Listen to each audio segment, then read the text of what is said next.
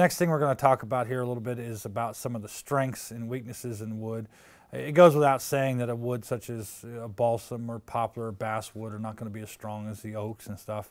Uh, but at the same time, uh, if I were to put a, a, piece of wood here that's quarter sawn, um, in other words, the, the annulars are perpendicular to the face of this, that in itself provides a, a certain weakness uh, that we need to anticipate.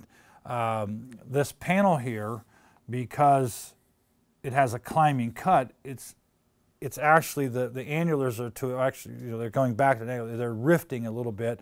And so you actually get to, to a degree some strength out of that aspect of it along with the beauty. And we've got it small enough that we're, it, it's not going to be eight foot long and the whole thing's going to warp up on us. Yes, the panel will eventually warp a little bit, but because of its size, uh, it's, it's not an issue. Uh, I've got a couple of strips here. This is, this is pine, and, I, and I've got some, uh, let me take a look here, see what this is, red oak here. Now if you look at the red oak, you're going to see where I've, I've, I've got this quarter sawn, all right? And because of that, you, you see these beautiful uh, rays in here that have no trouble with the eye seeing it. But it would not be a problem for me to take and snap this the length and the fault would be right on one of those uh, early wood pore sections. So this is not really a wood that we want to spend a lot of time quarter sawing because of the, the number of applications we'd have. And if we, we made a stile out of this and somebody slammed the door shut, uh, chances are our rabbeting on a, on, a, on a full overlay would just break off the lip. Okay, well, that was our problem for doing that. You know, we shouldn't have done that. Uh, I've got a piece of poplar that's also quarter sawn. Um, I got a piece of pine that's, that's got knots in it with reaction wood. And I got a couple more pieces of, of white pine uh, that, uh, that I've rifted. I know you can get a shot at the camera here and see the rifting. And sometimes when we're, we want to to bend wood, instead of trying to take and, and bend a full quarter inch piece, which we, we just can't get much in the way of radius, we can take and, and, and bend several layers, several passes we've cut on the bandsaw and glue them back together. If I were going to cut this or try to, to bend this, you can start seeing that the, the quarter sawing is starting to give us a little bit of a failure rate here. But if I take, and I've got both pieces of this pine, same pine, but just cut a different angle, and I can bend them, and I can keep going, and I can get almost all that way before it breaks. So the, the rifting it itself, I'm getting strength out of that. This is poplar, all right. I'm trying to see if I can get a good shot at the end here. All right, we got a slight rifting to the cut. It's still technically quarter sawn, but because of its pores and everything, I can get a pretty good turn on this. Now you're starting to see it give a little bit of a bend, and right about there, I get my failure rate. And if you'll notice, it doesn't break clean. It's, it's shattering in different angles and stuff. And again, this comes back to it's okay when you're getting ready to do any type of forms and you're worried about the wood bending, well, cut a strip and break it and see where it breaks on the different acclimations you're cutting on the saw. A clean break is a bad thing. I want this shattered effect. Again, this is a little bit of our CSI, a little bit of an investigation of our wood. This break here, once again, it was, it was not clean.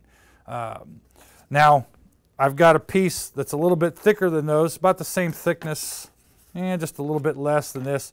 But I've got knots in it that have reaction wood. The reaction wood being the tree worked around it and had to deal with the knot. The minute I start to already, the reaction wood, which I can't control the grain acclimation, it becomes the first failure. So as you're going through and you're cutting your wood to do any type of multiple layers such as the arm of a chair or the back if you're going to do a multiple layered like the back frame of a Windsor if you're going to you know do a, a glue up on it you want to make sure product selection product selection you got to keep the knots out of it. Now to that end uh, even the thicker stuff they'll use an exhibition where they break a board in half um, I have a nice, beautiful piece of, of white pine here. It's three quarter inches thick, almost seven eighths inches thick. And as I hold it up to the camera, you'll see that it has been plain sawn. All right, so what I'm going to do is I'm going to turn it over the rough side up. Oops, actually I want to go the other way. I'm, i was correct the way I had it. I want to put it with the, the arc up. And if I just take and I just, without even thinking about it, hit it, I can break it. But I've never taken a day of taekwondo or anything. But what I've done is, by knowing my substrate, I have worked the wood against itself. I knew that when I put pressure down, it would cause tension wood on the bottom and begin to separate the fibers. And by hitting it click and clean, quick and clean, I knew it was going to break. Uh, let's take a moment and, and, now look at what we've got here. Uh, we can see in this sugar pine here, you can actually see the rays that are working against me. And it broke, let me hold it up to the camera, it broke at a bit of an angle, but if you'll notice, it intersected all of these rays here. I can see all these rays. So that is actually the true, if you want to use the term grain of the wood, that was the grain of the wood.